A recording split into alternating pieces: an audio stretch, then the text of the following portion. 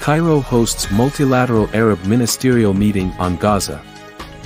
Ministers from Egypt, Saudi Arabia, Jordan, Qatar, and the UAE met with PLO Executive Committee Secretary General Hussein al-Sheikh to discuss the war in Gaza.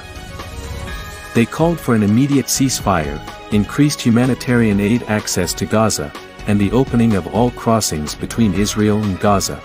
The officials also emphasized the importance of clearing obstacles to aid delivery and supporting the United Nations Relief and Works Agency for Palestine refugees.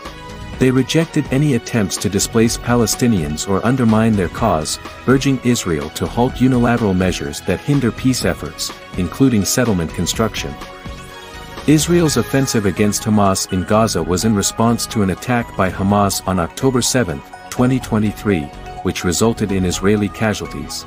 Since then, Israeli attacks have caused significant Palestinian casualties according to the Hamas-run health ministry in Gaza.